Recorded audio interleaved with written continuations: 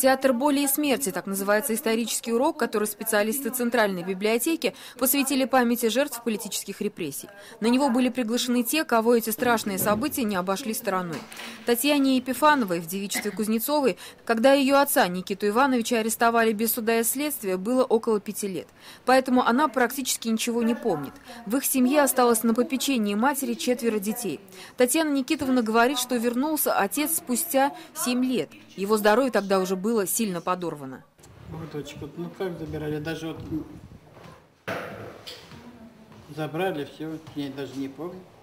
Говорю, маленькие были, что помните.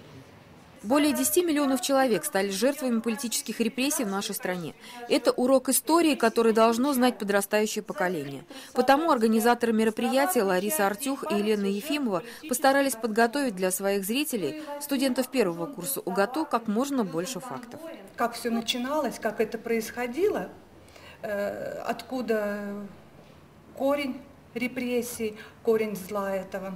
И э, хотелось еще рассказать о репрессиях. Хотим рассказать о репрессиях в Башкортостане, как они проходили, сколько людей погибло. По данным правозащитного центра, в России в настоящее время живы около 800 тысяч пострадавших от политических репрессий. В это число входят и дети, оставшиеся без попечения родителей. Екатерина Соломатина, Александр Шевцов. Новости.